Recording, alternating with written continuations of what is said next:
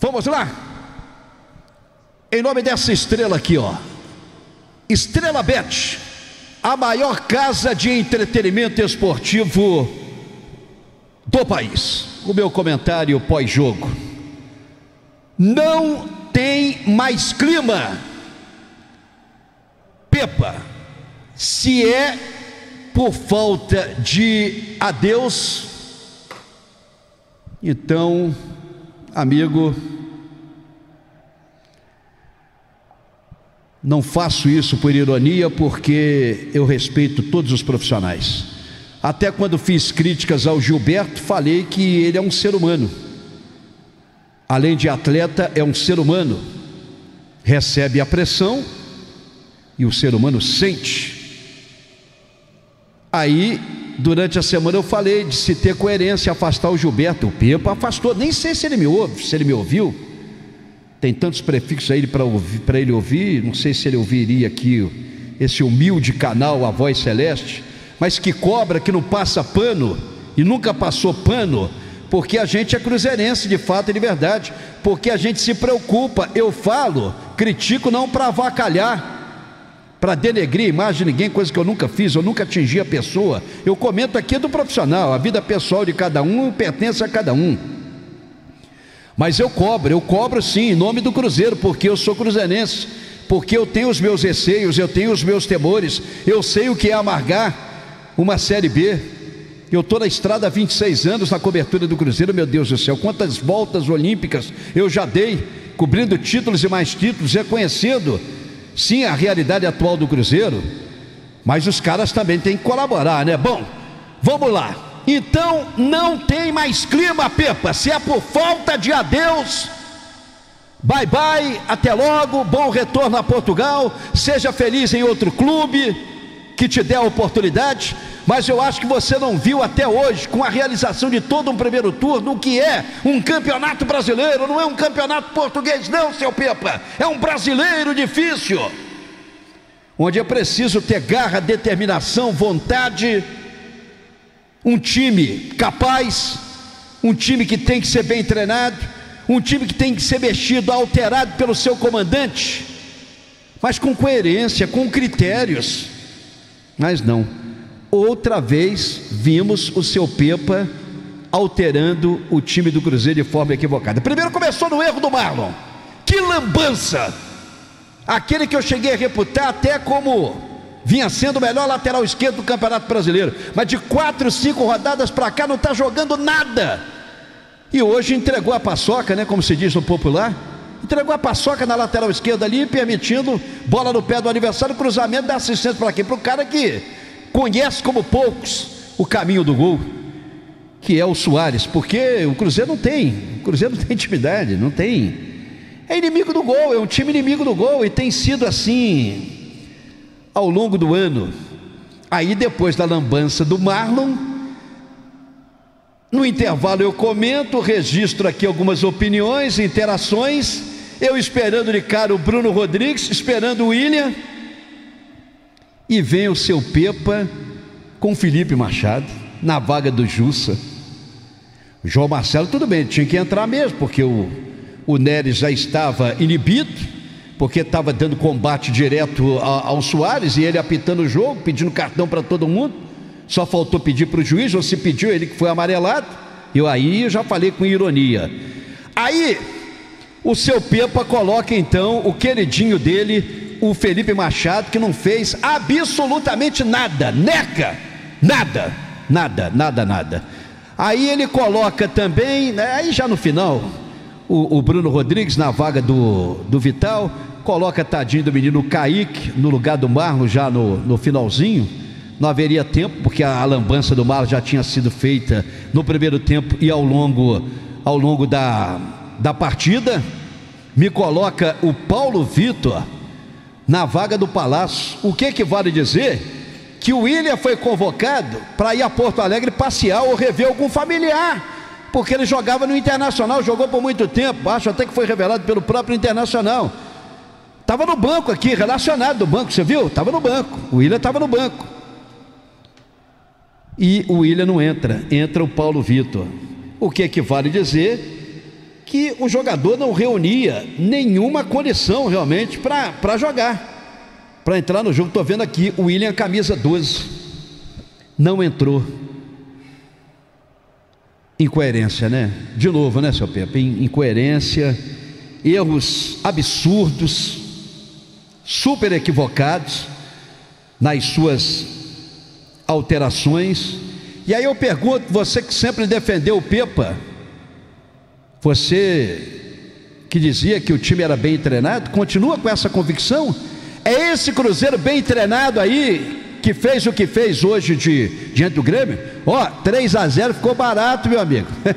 era para ser, ó, no mínimo, no mínimo, no barato 5 a 0 para o Grêmio. Por causa do seu Marlon e principalmente por causa do, do seu Pipa.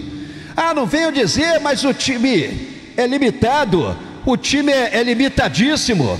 O Pepa está tirando leite de pedra. Onde que ele está tirando leite de pedra, meu Deus do céu?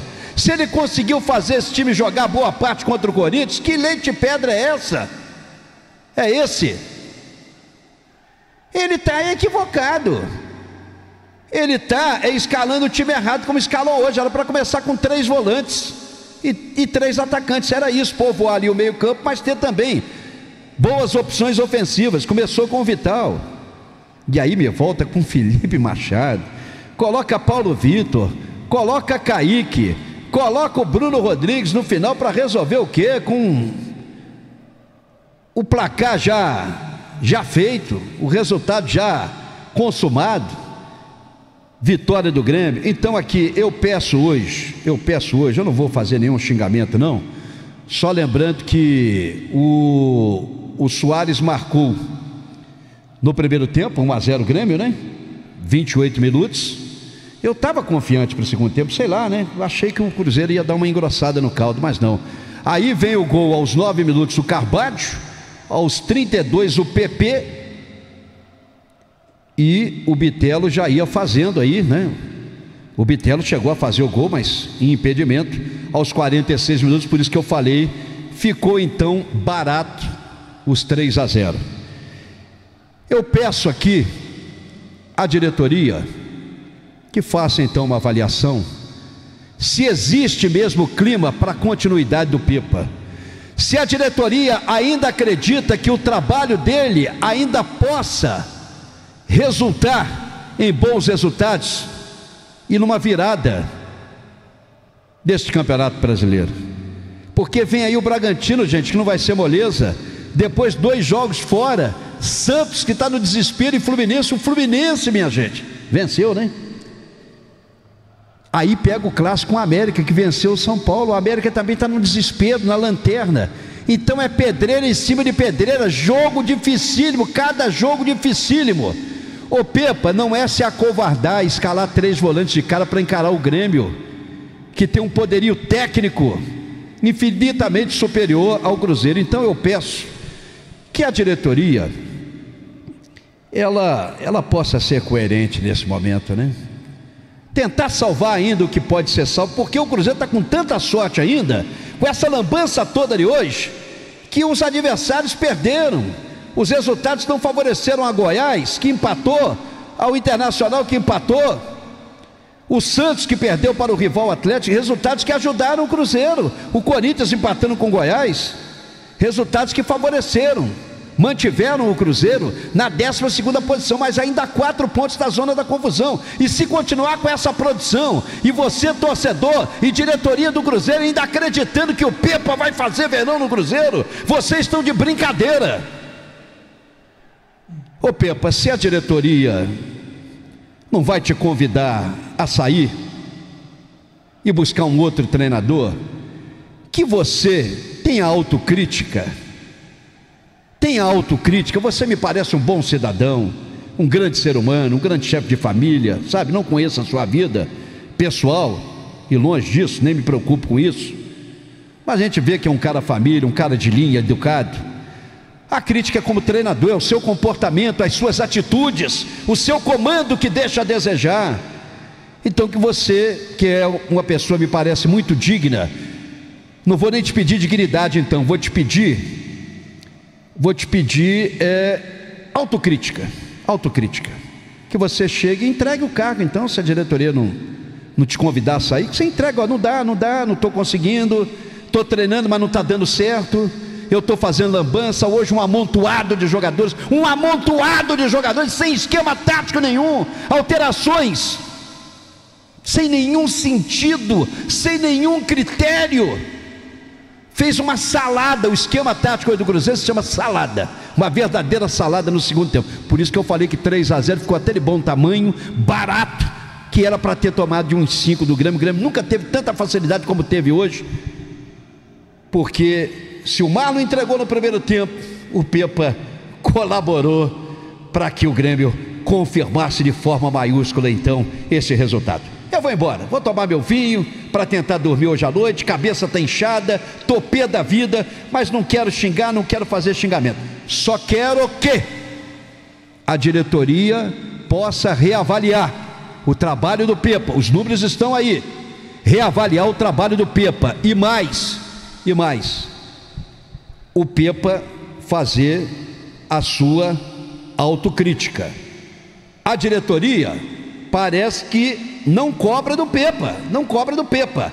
Cobre também dos jogadores, cobre também dos jogadores. Olha só, 26 jogos o Pepa, 26 jogos. 8 vitórias, 10 derrotas, 8 empates. Sofreu 29 gols. Não, peraí. Sofreu 25 gols com os três de hoje. 25 gols. Fez 26. 26 gols para sofrer 25. É esse o trabalho do Pepa. É esse o trabalho que tanta gente elogia e fala que ele tira leite de pedra. Você realmente ainda aprova o Pepa no comando estrelado? A gente já já vai encerrar a nossa jornada, mas haverá repercussão das redes sociais. Pode ser que alguma coisa aconteça ainda hoje. Eu espero que aconteça. Eu espero que não deixe para o retorno da delegação, não. Que hoje haja um posicionamento da diretoria, diretoria ausente, ausente uma diretoria forasteira que não tem identificação, é forasteira que se fala, é de fora, né? É, é, que não tem identificação com o clube, não tem nenhuma dirigente que não é daqui, que não tem identificação. O Ronaldo que não se pronuncia mais nas suas redes sociais, sabe? Ninguém se manifesta, ninguém fala que cobrou do treinador, não. E vem cobrança pesada como teve na toca aí torcida está se mobilizando. Eu só espero que não aconteça o pior longe. Pelo amor de Deus, torcedor, não vá fazer bobagem, não. Nada de agressividade, manifestação pacífica. Agora, para acalmar o torcedor, nesse momento, a primeira providência. Pepa, obrigado, valeu, foi bom, até onde pôde ser bom, até onde os seus resultados estavam surtindo efeito, mas há um bom tempo não vem surtindo você não aprende com os erros e ponto final. Então, por isso que está no meu título. Não tem mais clima. Pepa, se é por falta de adeus, então, ó, adeus. Nação Azul Celeste, dando números